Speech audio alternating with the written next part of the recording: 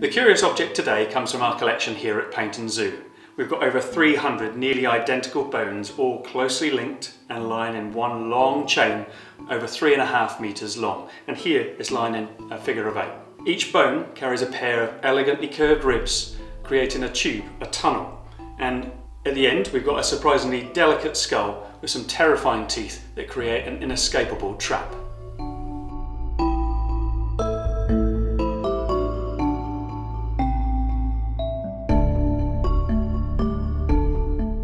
Curious object from the zoo today is the skeleton of an African rock python. Sometimes we talk about a person being spineless, that they're weak, that they're feeble, that they're capable of, incapable of looking after themselves, that they can be pushed around. But this animal is all spine. We've got 300 vertebrae, 300 pairs of ribs, all joined together by powerful muscles that create a capable predator that can bring down prey almost as heavy as itself.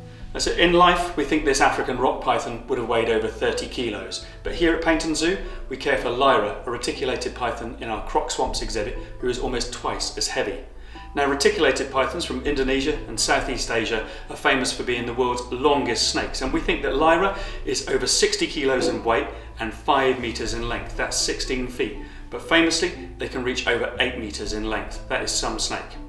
Now, visitors looking at Lyra will see an unexpected beauty. If you get up close to her, you can see a sheen to her skin, uh, an iridescence in her scales, and that's tiny microscopic structures that catch the light and create a rainbow.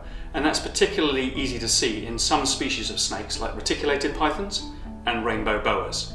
Although Lyra's head looks substantial and strong, a quick look at the skeleton shows just how fragile and delicate the snake's skull is. Okay, unlike our skull, where we've got a rigid brain case with a hinged jaw, a snake's skull is made up of many different parts and they're not attached together in the same way as ours. You'll hear people talk about a snake dislocating its jaws to swallow its prey, but in fact they're not attached in the same way and they come apart not only at the sides, but they can also come apart at the centre as well. And that allows a snake to, to move its jaws apart to swallow very large prey and those can move in a way that allows them to walk their jaws onto their prey. So the backward curving teeth and the jaws moving around allows them to walk the prey into their mouth. Now this process of walking the teeth and the jaws onto the prey, walking the prey into the mouth is called mandibular walking and it allows the snake to swallow a very large meal and a very large meal is often followed by a huge yawn. If you see one of our snakes yawn, they're using that to realign their jaws to get them back into the correct position.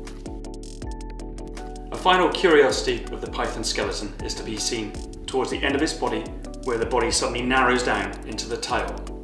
On Lyra, if you look closely, you may well be able to see just some small spurs, and sadly the bones are missing from our museum skeleton.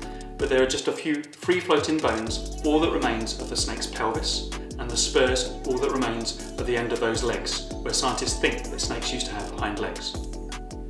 We hope you've enjoyed seeing this curious object from the zoo. Make sure you share, like and subscribe to our videos and come and see our amazing animals here at Paignton Zoo soon.